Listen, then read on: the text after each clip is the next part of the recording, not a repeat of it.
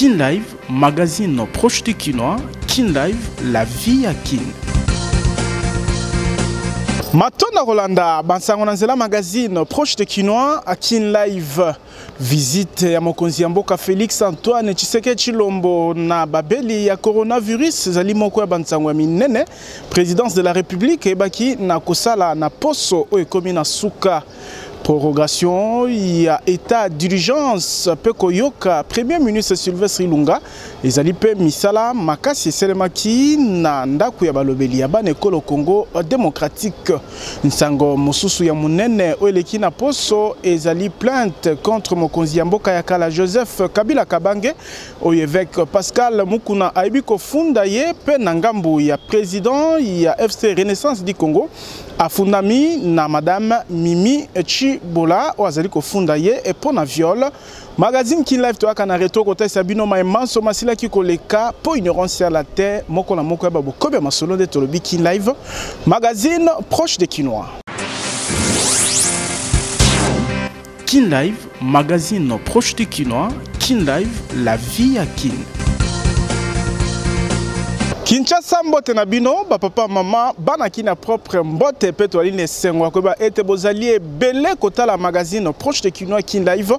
ekofungwama yambo na bansango ya présidence de la république misala makasi mokonzi ya mboka ebaki kosala uta ebandeli ya poso Atako etumba ya bokono ya coronavirus epekisi Felix Antoine Tshisekedi Tshilombo te mpo na kobundela bana ekolo Congo democratique, azalaki bipai na bipai. Bolanda condense ya magazine Proche des Kinois oyo etalisi misala mokonzi ya mboka ya poso mobimba. 29e Conseil des ministres liyangani ya evaluation ya mi-parcours ya etumba ya coronavirus, visite ya babeli ya bokono ya coronavirus na balopitalo, mpe visite ya bachantier ya baso de moto na engumba mokonzi kinshasa nde misala minene minei mokonzi ya mboka félix antoine tshiseke tshilombo atambusaki na poso oyo ekomi na suka lundi 4 mai 2020 mokonzi ya mboka afungolaki poso na conseil de ministre oyo eselemaki na nzela ya videoconférence na liyangani ya ngonga molai to 9 heures Makambo ebele ya motuya elobamaki mpe mikano ezwamaki, kati na yango motuya ya kopusa mpo na mbala ya mibale etat d'urgence mpamba te ya yambo misala na yango esengeli esuka le 8 mai kotala menasi ya covid-19 mpe motuya ya bokolongono ya nzoto mpe lisusu kolandisama bokobi ya bokono ya coronavirus esengeli kopusa etat d'urgence kaka na oyo etali coronavirus Ministre ya Sante atalisaki bakoni ya sika oyo bazwami na boloko ya mapinga ya Ndolo kobangaka bopanzani na bato mosusu mpe atalisaki bilan ya bokono ya coronavirus oyo ezali deja na bituka sambo ya ekolo Congo RDC. Na oyo etali bokaboli bokono ya coronavirus na baboloko, likambo ya makala mpe elobamaki wapi nsima ya deba mokano ya kodezangorge to kobimisa bakangami mosusu na nzela ya liberation conditionnelle mpe liberte provisoire ndakisa directeur ya kabine ya mokonzi ya mboka vital kamere vice-premier ministre ya justice azwaki etinda ya kobimisa mibeko mpo na kodesengorge baboloko na boyokani na ministère ya droits humains Mardi 5 mai, mokonzi ya mboka asangisaki uta ndako na ye ya mosala ya Cité de l'Union africaine, Task Force, ministère ya Sante, secrétariat technique oyo etali etumba ya coronavirus mpo na kotala bokobi ya etumba ya bokono oyo na mabele ekolo Congo démocratique kobanda emonana kino lelo mpe lolenge ezali kotambusama. Ministre ya Sante Dr Eteni Na bobimi liyangani atalisaki ete etumba ya coronavirus ezali kotambola malamu mpe biyano ya mbula matadi ezali komonana ko desengorger ba boloko mpo na koboya contamination mpe ko sauver annee scolaire 2019-2020 ezali maye ya motuya mpe elobamaki na liyangani oyo kasi ministre ya justice akozwa mikano na oyo etali secteur na ye na oyo etali malakisi commission ekotyama na esika mpo na kofixe Mokolo ya bozongi kelasi, oyo ekobanda nano na bituka oyo bokono ya coronavirus ezwami te. Kotala bakoni ya coronavirus ezali mosala ya misato mokonzi ya mboka Felix Antoine Tshisekedi Tshilombo asalaki jeudi 7 mai 2020. Elongo na molongani na ye mama Denise Nyakeru, mokonzi ya mboka abandaki yambo na clinique Ngaliema wapi bakoni 113 mokoka bazwami. Na bokomi na ye, ayambamaki liboso ya pavillon 6 babengi pavillon coronavirus na medecin directeur Dr Congo Menga oyo asembolaki na molai likambo ya bokono ya coronavirus. Clinique Ngaliema ezali lopitalo oyo eyambaka motango ebele ya bakoni ya coronavirus mpe mokoni ya yambo ajwamaki awa 16 bato oyo babiki na bokono ya coronavirus Na libaku oyo, bazwaki ba attestations na guerison mpe bapesaki matondi na mokonzi ya mboka kolandisama bokasi azali kosala mpe lolenge bakoni ya coronavirus bazali kolandelama.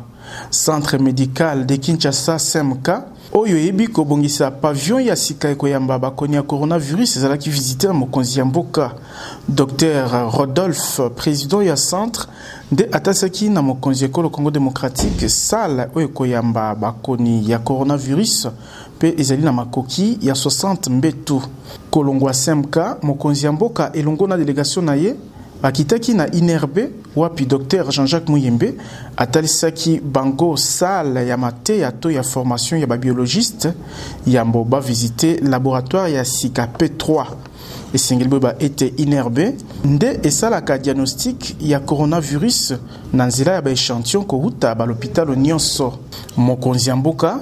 akomaki mpe hopital de cinquantenaire awa Félix Tshisekedi azwaki baexplication ya Azeb Manan na oyo etali likambo ya babeli ya coronavirus oyo bazali 38 ka 10 sispe mpe mitano babiki bazali kozela bobimi. Felix Tshisekedi elongo na molongani na ye basukisaki visite ya babeli ya coronavirus na hopital sino congolais na Ndjili, wapi mokoni ya yambo na komini ya Ngalema ayambamaki. Giscard Kapanga Medecin directeur atalisaki na mokonzi ya mboka ete 41 cas nde bazwami na lopitalo na ye, 21 positif, 7 bazali kolanda traitement, 14 babiki mpe babimi deja lopitalo, sambo bazali kozela baresultat ya baexame na INRB. Na bozongi ndako, mokonzi ya mboka Felix Antoine Tshisekedi Tshilombo atalaki bokobi ya misala ya Sode Mouton na Debonome sur boulevard Lumumba oyo ekobi deja mpe etikali 20% ya pamba mpo na kosila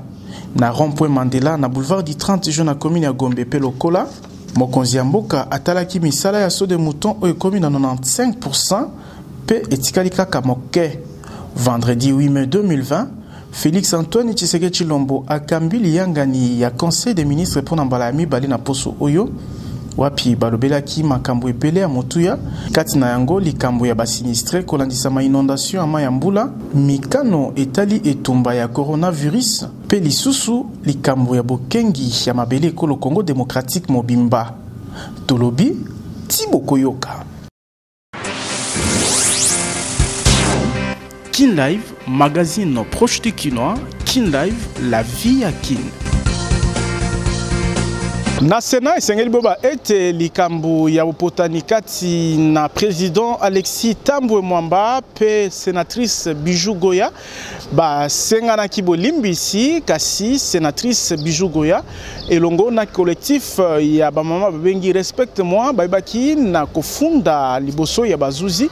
président ya sena alexis tambu mwamba mpe nsima bayaki kotikela ye memo kosengaka na ye bolimbisi en publique Alexis Tampu Mwamba asembolaki na ba mama ya collectif Respect moi ete ye alobelaki mama ya Congo te kasi alobelaki moko ya ba senatrice na kati ya mosala na bango.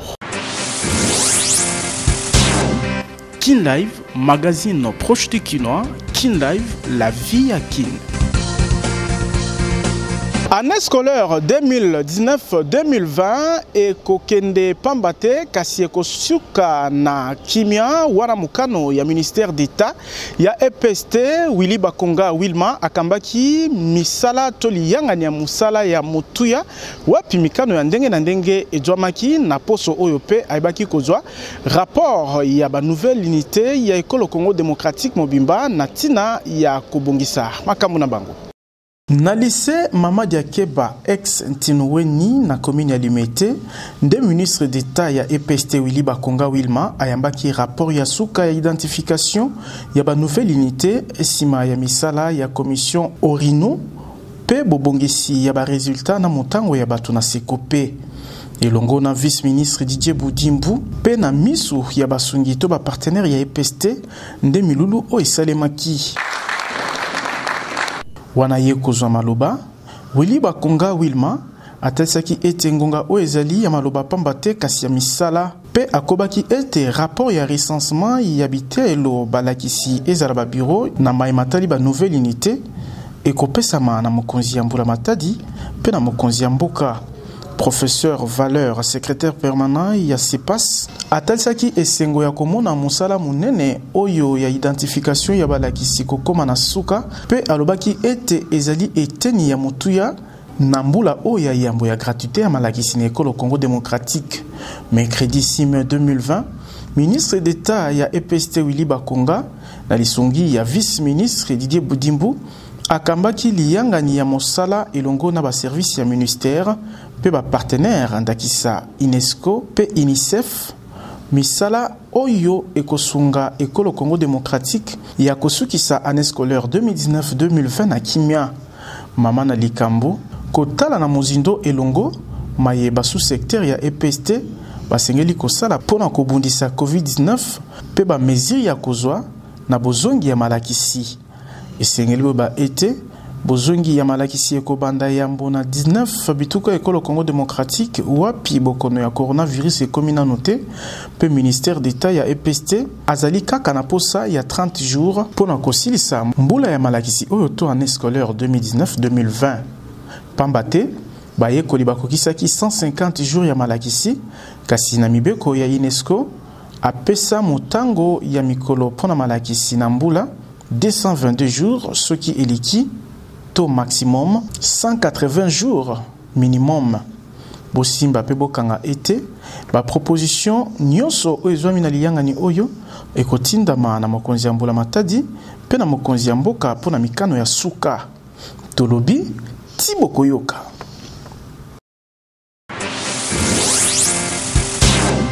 Kin Live, magazine proche du Kinois, Kin Live, la vie à Kin. alobaki yango na ebandeli dépôt ya plainte ya évêque pascal mukuna contre mokonzi ya mboka ya kala joseph kabila kabanga ezali moko ya bansango ya minene eyebaki koningisa poso oyo ekomi na suka Evêque Pascal Mokuna afundi mokonzi ya mboka ya kala na makambu ya ndenge na ndenge pe na ngambu ya mama Mimi victime to présumé victime ya viol ye afundi evêque Pascal Mokuna bolanda lisusu condensé ya magazine Kin Live na makambu yango bazalaki kokosa ngai Ezali nsima ya kotambusa na nzela ya ba reseaux sociaux bilili ya ekobo to sex tape wapi elongi ya eveque Mukuna emonanaki. Na makambo yango nde mokambi ya ACK azwaki mokano na nzela ya bitando ete bobimi ya bilili wana eye komatisa moto na etumba azali kobunda ya eveil patriotique. Jeudi 7 mai 2020, Eveque Pascal Mukuna amataki na vitesse ya likolo na kofundaka na cour constitutionnelle mokonzi ya mboka ya kala Joseph Kabila Kabange oyo azali kofunda na makambo zomi. Tozali koyebisa bana nyonso ya Congo démocratique ke touti kodepose plainte touti kodepose plainte yango na cour constitutionnelle contre monsieur Joseph Kabila mpo na bacrime oyo ya nsele na mboka na biso. Plainte oyo mpo na baye bazali nzinganzinga ya Eveke Pascal Mukuna babengi yango plainte technique elandisamaki na reaction na nzela ya Twitter ya Herman Cohen oyo apesaki ye longonia. Na ngambo ya FCC, Papi Tamba moko ya balobeli ya FCC abengi Eveke Pascal Mukuna ya kotika kotanga lisusu nkombo ya Joseph Kabila awa amipesi liboso ya sembo Atika sembo ekata likambo na ye. A partir ya lelo que yo depose plainte, oyebi procedure na droit ndenge ezalaka. Zwa munoko siko sala nini? Kanga. Makambo siko ya Joseph Kabila banda lelo esili. Siko tika siko place yo depose plainte, ba traiter plainte na yo. Biso siko tomo senga yo. lokola makambo wana esili betela biso masola ba genou présumé victime ya viol mimi chibola mwasi oyo azali na video na mokambi ya fc renaissance ayebaki mpe na ngambo na ye kotika plainte contre évêque pascal mokuna oyo azali kofunda mpo na viol détention illicite ya mikanda mpe menace de mort elongo na avocat na ye mimi chibola Azali na elikya ete sembo Ekolo Congo democratique ekosala mpo azonga na ba droits na ye. Justice epesa oyo aza na raison raison na ye. Ngai naye koluka mpo na interet ya bien na ngai oyo mobali na ngai atikaki. Naza na mposa justice epesa ngai etia ngai na nzela na ngai epesa ngai ba droits na ngai en tant que femme. Naza na ba preuves ya batu ebele oyo tosololaki mpo na kosilisa makambo wana famille me mukuna alingaki te mukuna ma menase mukuna alobi nasalele bavideo naza na bavideo na ye te mukuna abotoli nga telefone na miso ya bato nakoki kotanga komona bango te me nakotanga na epa magistrat mukuna après quelques jours mukuna alance biloko wana mukuna apiblie ngai deja ngai vi na ngai eza salut partout Tout le monde oyo bayebi makambu te bazo loba e fille wana aza komisa na fingami partout nalingi nalakisa mokili ke nalakisa ke ngai nakendaki epa mokuna mpo asombela ngai ndako te asilisa mpasi na ngai te moko ya bakolaborateur ya kala ya eveke pascal mokuna onesime ngindu na nzela ya etando atalisaki ete mimi chibola azali mwasi ya moko ya bakolaborateur ya eveke pascal mokuna oyo akufa Komona makambo ya boye esengeli eveke asenga bolimbisi. Tshibola wana apesi kombo. Nga nayebi ye très bien. Meme kombo bazotanga ya Kancha. Kancha akufa. Kancha azalaka prophète. Batuni ye ozalaka na lopango na meteo tata wana alobi nini? Ezali.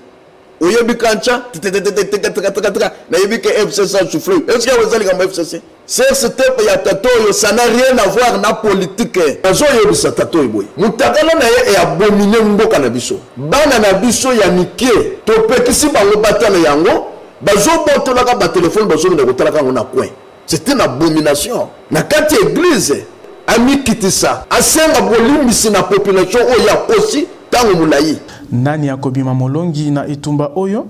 sembo ekolo congo démocratique nde ekopesa biyano nsima ya kolandela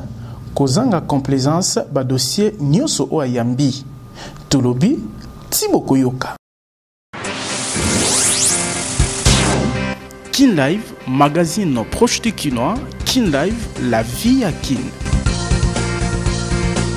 nsango ya malamu na poso oyo ekomi na suka ezali mpe bokiti ya talo ya carburant na pompe nsima ya lilangani premier ministre sylvestre ilunga alengelaki wapi abengisaki ministre ya budget ministre ya mambi matali ekonomi mpe ministre ya hydrocarbure Mikolo misato nsima talo ya carburant na pompe ebi na kokita na 1990 francs kasi ezalaki yambo 2240 francs congolais. Kin Live Magazine proche du Kinois, Kin Live, la vie à Kin. Depute national Henriette Wamu Ataminia ye aponami kati na bato zomi bakosunga cardinal Fridolin Ambongo na conseil d'administration oyo église catholique engumba mokonzi Kinshasa akeli na ntina ya kokamba mambi matali bokolongono ya nzoto. Kobanda lelo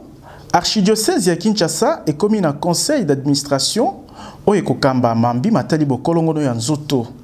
Archevêque metropolitain ya Kinshasa, cardinal Fridolin Ambongo Besungu, azwi mokano ya kokela structure oyo etikala nanu kozala te na eglise catholique ya engumba mokonzi Kinshasa, kolandisama mambi ya ntango to mai mazali koleka na capitale, mpe ye moko nde akokamba yango to mpe motindami na ye. Na mokano ekeli conseil d'administration, kati na ba membres, honorable depute national Henriette Wamuataminia pe aponami. Po na ba mingi, boponami ya molobeli ya funda na tata cardinal ekoki kokamwisa te kotala komipesa na ye po na bolamu ya bana, ba mama, baye bazanga na mokuse, ba vulnerables nionso. Pamba te, etumba ya Henriette Wamu ezali kobika na bokokani kasi bokeseni te. Moklisto katoliko ya solo, moponami ya Funa, Honorable Henriette Wamu, wuta ntombwama ya tata cardinal na Papa wa Roma,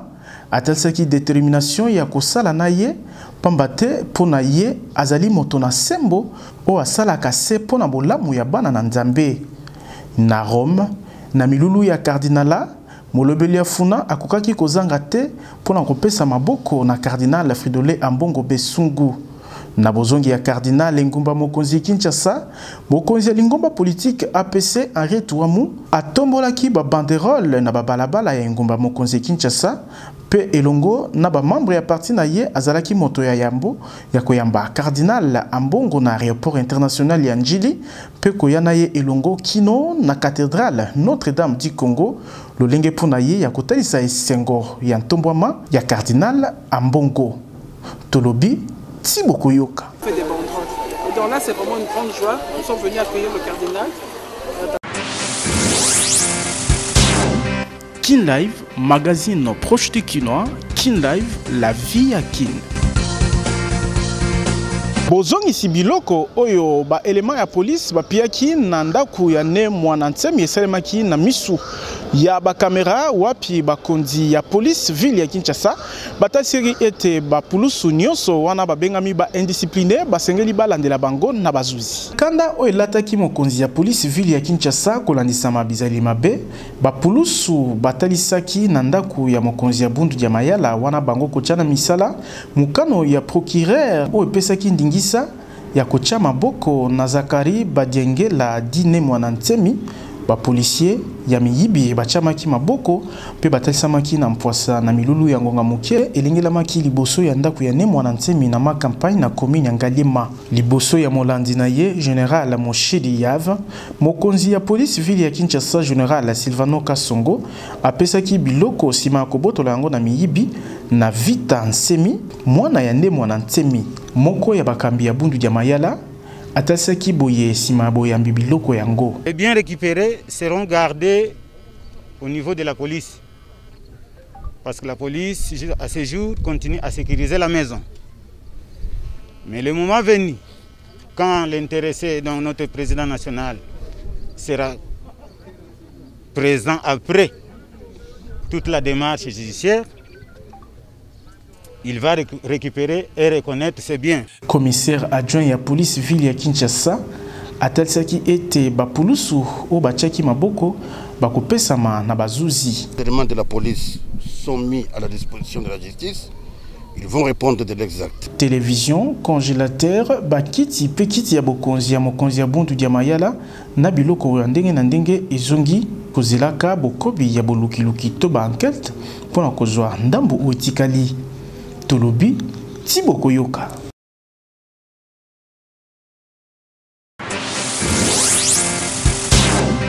Kin Live, magazine proche du Kinois, Kin Live, la vie à Kin. esengeli boyeba ete bayi congo démocratique babikaka na angola mingi mpenza bazali kobimisa bango na makasi mpe kozanga botosi makoki ya moto bazali kokota na ngambu ya kamako na etuka ya kasai Likambo oyo etungisi bakambi ya ekolo Congo démocratique na eteni wana oyo batalisi ete esengeli bakota en contact na bakonzi ya ngambu ya Angola na ntina ya kotosa lolenge ya kobengana bato pamba te na bobengani wana bali kobotola misusu biloko kotindika mpe bato baleki motango ya 300 oyo babimi na makasi mpe bisika bazali kobika situation na bango ezali malamu mingi te.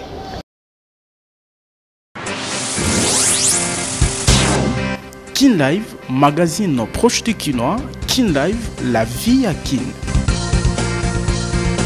awa nde retoi magazine proche de kinois kin live esuki tozalaki na esengo kopresente bino yango na nkombo ekipe technique na rédactionnel totondi bino botondi kasi ekosuka bongo te tika topesa mbotama elamu na Sublime Langa Chombo oyo azali souffler na bougie moko de plus na bomoi na ye magazine proche de kinois totombeli yo mbotama elamu kasi tobosani te Fiston Lumana na Botour ye mpe molandi monene ya magazine proche de kinois ki live botika na kimia tokutani poso ezali koya na esengo Kin Live, magazine proche du Kinois, Kin Live, la vie à Kin.